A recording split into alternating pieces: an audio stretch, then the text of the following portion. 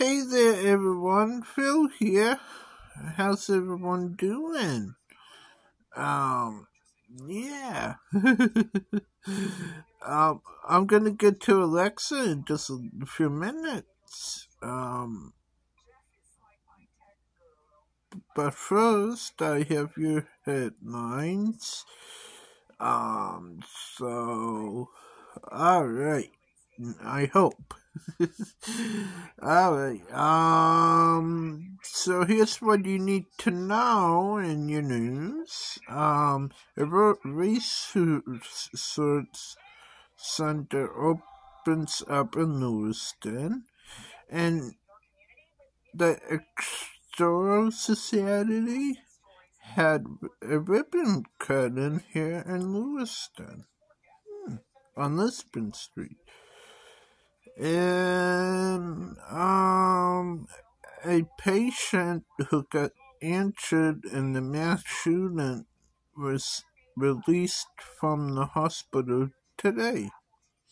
And those are your headlines that I have for you for right now. I'm Phil, and I guess I'm handing it over this way with Alexa, who has maybe a, the weather for the next seven days and maybe a sports update. Who knows? All right. Um, now, Alexa, take it away. Okay. What should note say?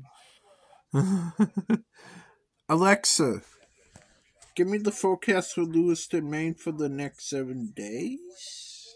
Okay, I've saved your note. What? Alexa, give me the forecast for Lewiston, Maine for the next seven days. In Lewiston for the next seven days Wednesday, 45 degrees Fahrenheit and partly sunny weather. Thursday, 53 degrees and partly sunny weather. Friday, 56 degrees and intermittent clouds. Saturday, 48 degrees and rainy weather. Sunday, 43 degrees and mostly sunny weather. Monday, 37 degrees and intermittent clouds. Tuesday, 40 degrees and lots of clouds. Alexa, give me a sports update. Here's your sports update. In basketball, yesterday, the Celtics beat the Knicks 114 to 98. 76ers and Celtics are facing off tomorrow evening at 7:30 p.m. And in ice hockey, Buffalo Sabres will play Boston Bruins this evening at 7 p.m. Alexa, thank you. Good evening, Philip. Anytime. Literally. Hope you've had a good Tuesday. Okay.